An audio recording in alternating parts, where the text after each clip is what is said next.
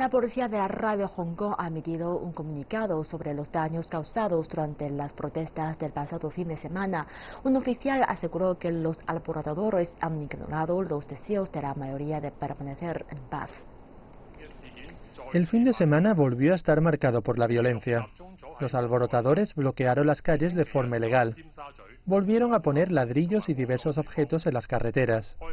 Pusieron en peligro a varios viandantes, incendiaron objetos en la carretera y prendieron fuego a diferentes bocas de metro que tuvieron que cerrar.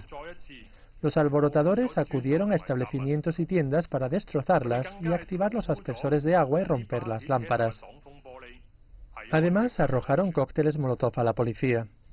La pasada noche destrozaron los cristales de un vehículo policial que transportaba a varios agentes, uno de los cuales resultó herido. Estos ataques podrían haber resultado mortales. Además, los cócteles Molotov explosionaron en un coche patrulla, aunque afortunadamente no hay que lamentar heridos.